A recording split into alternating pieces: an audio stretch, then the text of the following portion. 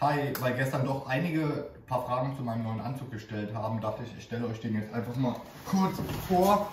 Und zwar ist das der Ducati Corse K1 perforiert.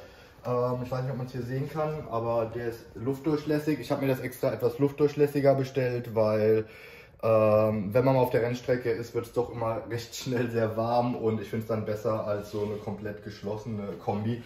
Was mega geil ist, der hat jetzt extra Elbow Slider. Der Anzug selber ist von Denise. Ähm, man kann ihn Customer designen, also sprich, man kann sich die Farben selber aussuchen. Der äh, kann angepasst werden von der Größe, vom Fitting her. Ich habe jetzt etwa eine 50er Größe genommen, weil, äh, kann ich auch mal kurz zeigen, ich zum Beispiel auch gerne dann noch den Brustprotektor trage oder auch natürlich Rückenprotektor und man dann darunter ein bisschen mehr Platz hat. Und vor allem, wenn die Kombi perforiert ist, ist es immer noch mal ganz gut, dass die Luft ein bisschen zirkulieren kann. Also sprich nicht, dass es dann wirklich eng auf der Haut sitzt.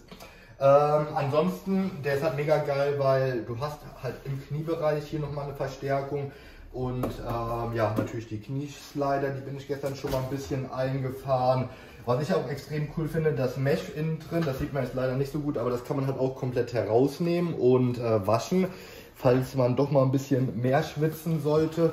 Und damit es jetzt nicht so lang wird, gehe ich direkt mal weiter zu den anderen Sachen. Ein Highlight von mir ist auf jeden Fall noch der Boot. Das ist der, ich glaube, V5. Das müsste der V5 sein, Ducati Corse.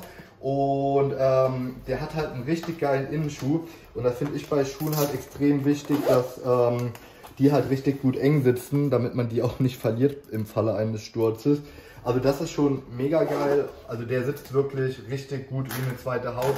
Den merkt man echt gar nicht. Ähm, eins meiner persönlichen Highlights der Ducati-Kollektion.